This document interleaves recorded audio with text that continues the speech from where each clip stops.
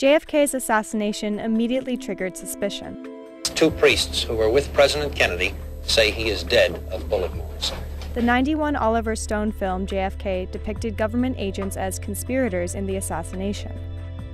The guy couldn't do the shooting. Nobody could. And they sold this lemon to the American public.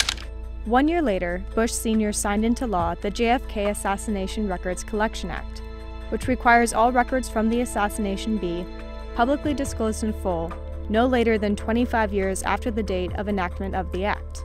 Side note, a government report credits Stone's film with the passage of the act, saying, Americans could not trust official public conclusions when those conclusions had been made in secret. So, what does all this mean?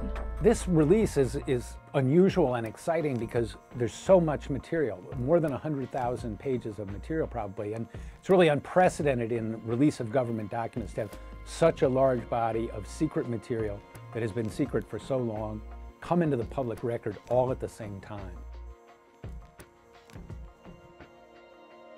You will see thousands of pages that will be baffling to you. We will get new insight into CIA's pre-assassination interest in Oswald and possibly the manipulation of Oswald. We'll also learn something probably about other CIA assassination operations that they were conducting against other foreign countries. It, we're pretty sure that that sort of information is in these files.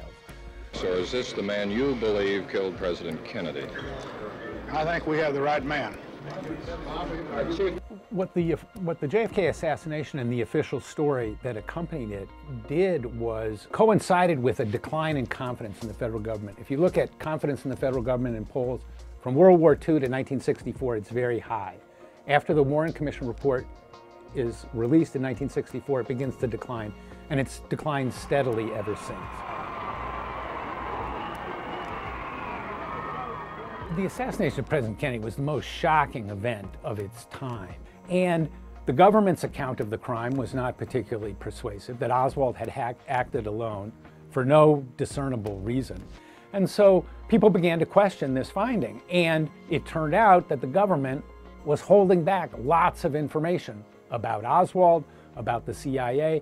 And so that secrecy compounded people's suspicions over the years. So really for the last five decades, Investigators, the public, people who are interested in the subject have been peeling the onion off this very strange tragedy, trying to figure out what really caused it.